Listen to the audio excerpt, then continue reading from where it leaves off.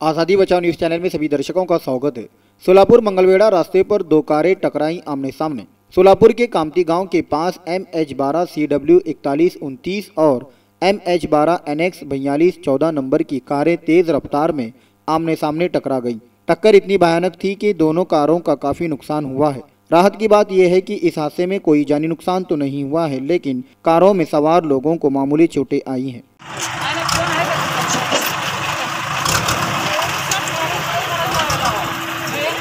दिलं असतं त्याने तरी ऍक्सिडेंट झाला नसता कशामुळे झाला ऍक्सिडेंट ते- ते रोडला नीट त्याने डिवायडर लावले नाही तिथं तिथं पाहिजे तिथं. हां हां हां हां. वन साइड रोड बंद आहे. हा बरं, वन साईड रोड पण ठेवलेलं आहे. एक साइड रोड बंद ठेवलेला आहे. हां त्यांचं मेंटेनन्सचं काम चालू आहे. चार झाले त्या जवळजवळ आठ दिवसात चार ते पाच ऍक्सिडेंट झालेले आहेत.